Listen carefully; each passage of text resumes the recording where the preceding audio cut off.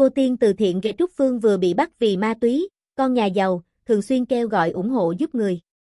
Thông tin về cô tiên từ thiện gây bị bắt giam khiến nhiều người sững sờ bởi trước đó, cô gái này vốn rất được mến mộ. Trưa ngày 14 tháng 11, mạng xã hội ngỡ ngàng trước thông tin Nguyễn Đỗ Trúc Phương bị bắt để điều tra hành vi liên quan đến ma túy.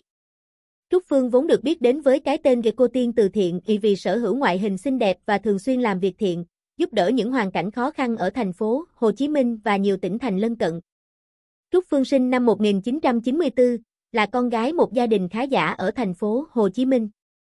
Cô gái này đã từng đi du học ở Úc 9 năm, sau đó về quản lý công việc kinh doanh khách sạn.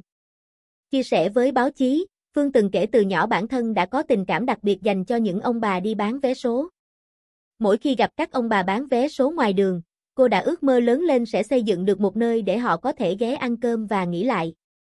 Cô Tiên bắt đầu giúp đỡ các hoàn cảnh khó khăn từ cuối năm 2019, sau khi đi du học về. Ban đầu, cô vận động gia đình, bạn bè và bỏ thêm tiền túi để tìm đến, hỗ trợ những người khó khăn, số tiền hỗ trợ từ 7-8 triệu, trường hợp, rồi lớn dần.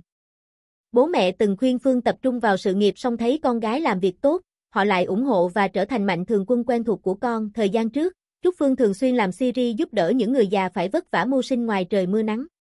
Hành động của Phương khiến nhiều người xúc động, chung tay. Trên trang Facebook có vài chục nghìn người theo dõi, mỗi lần kêu gọi chỉ vài tiếng, Trúc Phương đã nhận được sự chung tay của nhiều người với số tiền lên đến hàng trăm triệu đồng. Được biết, trong hành trình làm việc thiện của mình, Trúc Phương đã giúp đỡ được cho hàng trăm trường hợp với số tiền lên tới hàng chục tỷ đồng. Thời điểm dịch Covid-19 bùng phát, Trúc Phương kêu gọi ủng hộ hàng tấn lương thực cho những hoàn cảnh khó khăn, bị ảnh hưởng bởi đại dịch.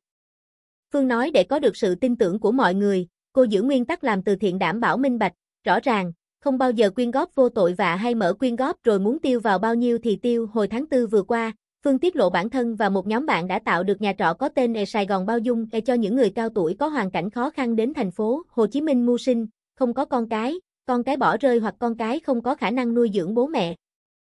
Cô cũng dự định tương lai gần sẽ hỗ trợ cho những em nhỏ ở vùng sâu, vùng xa. Tuy nhiên gần đây nhiều người phát hiện Trúc Phương e mất tích e trên mạng xã hội. Hiện dư luận rất quan tâm đến vụ việc song công an thành phố Hồ Chí Minh chưa thông tin chi tiết về vụ án có liên quan đến bị can Nguyễn Đỗ Trúc Phương.